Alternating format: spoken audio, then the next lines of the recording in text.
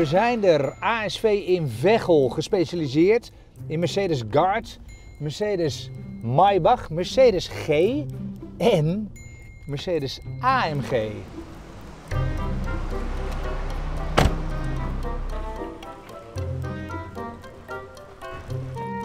Kijk, kijk, kijk. Curbstones, rubberen strepen en alle modellen. AMG, GLA, GLE, GLE Coupé, de S.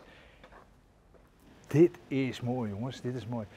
Een CLS 53 AMG. Het is allemaal AMG hier in Veghel. Aufrecht, Melger, Groos Asbach. De eerste twee, dat zijn de grondleggers van het label AMG. Toen het nog niet gelinkt was aan Mercedes. Hè. Groos Asbach, dat was het dorpje waar ze begonnen in Duitsland.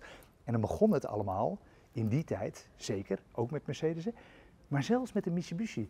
AMG was een label dat auto's beter maakte, sterker sneller. En uiteindelijk, natuurlijk, uiteindelijk werd het Mercedes. En nu kennen we AMG als het performance label van Mercedes.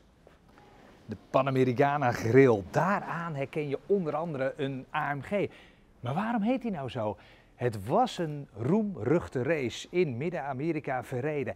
Heel gevaarlijk. Mercedes was er heel erg sterk. Ze wonnen er diverse keren. Het verhaal gaat dat één keer met een 300 SL daar gereden werd, heel hard, dik boven de 200 km per uur, raakte die auto een gier. Zo'n grote aasgier, zo'n vogel, die ging dwars door het voorraam, raakte de rijder in zijn gezicht, grote hoofdwond. Maar zijn co-drijver zweepte hem op. Doorrijden, doorrijden, doorrijden, zo hard als het kan naar de finish, want anders winnen we niet. En zo gebeurde het ook.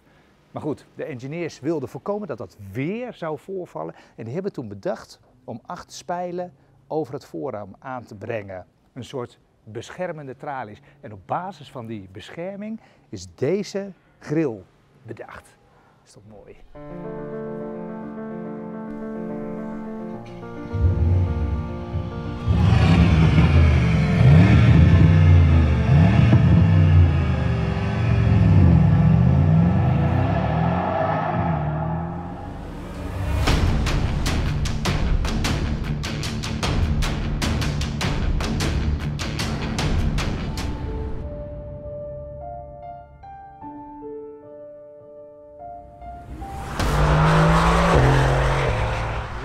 Speciaal is dit? De Mercedes AMG GTR Speed Legend.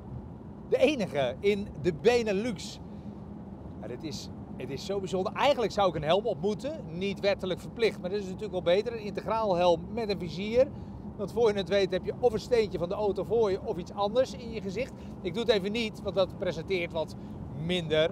De bril zou op kunnen. Dat doe ik ook niet, want dat staat niet zo sympathiek, vind ik altijd. Maar deze auto is werkelijk heel bijzonder.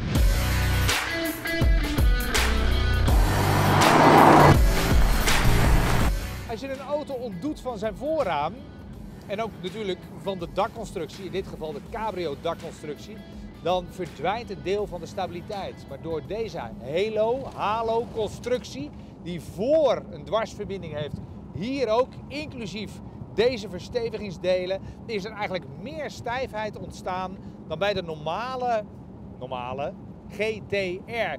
En dan hier binnenin ledverlichting, knopjes, daarin hangt dan weer de binnenspiegel. Ja, en we hebben geen zijramen. Geen voorraam, zeker niet, maar ook geen zijramen. Dus de knopjes die zijn verdwenen. De regensensor, die is weg. Want ja, we hebben geen ruitenwissers meer. Maar dit is misschien wel de meest pure vorm van autorijden.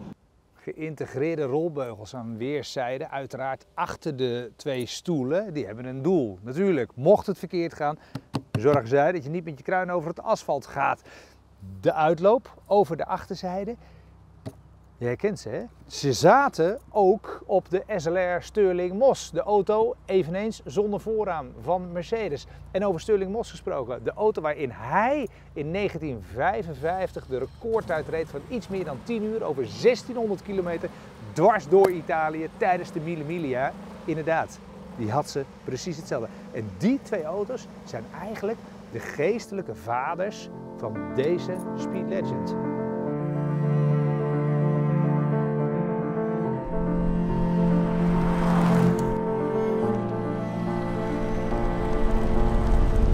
Bijna 600 pk vermogen op de achterwielen uit een oldschool V8 met twee turbo's. Heel veel vermogen, heel veel kracht en dan gewoon lekker met je kop in de wind. Je bent helemaal buiten en ik rij nu niet zo hard, ik rij 70 km per uur. Voor je gevoel is dat al ruim 100. Moet je nagaan als je uit deze auto de maximale prestaties haalt. Ruim 300 km per uur. Dan, dan, dan moet wel die helm op.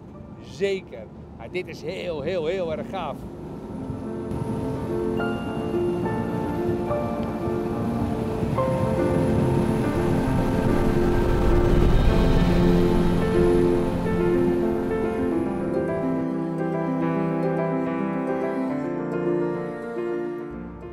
De auto is te zien bij ASV in Veghel. En dat is dus ook de plek waar die eigenlijk min of meer is bedacht. Hoe uniek, hè? Hoe uniek. Je ziet dit natuurlijk nooit meer. One-offs, auto's waar er maar een paar van gebouwd worden. Dit is er één van. Mooi, mooi initiatief. Prijzenswaardig en iets waar over een paar jaar nog steeds over gesproken wordt.